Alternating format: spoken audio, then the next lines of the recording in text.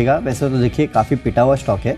और लगातार अगर आप देखेंगे तो मेरी टीम में तो ये सेल आइडियाज़ में ही शामिल होता है। इक्का दुक्का बार बाय आइडिया में शामिल हुआ है जिसमें से आज एक बार और है। 605 के लेवल के लिए खरीदारी इसलिए करना है क्योंकि यहाँ पे बोर्ड की बैठक में 4,200 करोड़ जुटाने के लिए मंजूरी दी है और राइट इशू के ज़रिए दरअसल 4,200 करोड़ जुटाने के यहाँ पे मंजूरी मिली है। आ, ये खबर जो है इस कंपनी को थोड़ा सपोर्ट करेगी। हालाँकि अब तक देखिए राइट इशू का प्राइस नहीं आया है।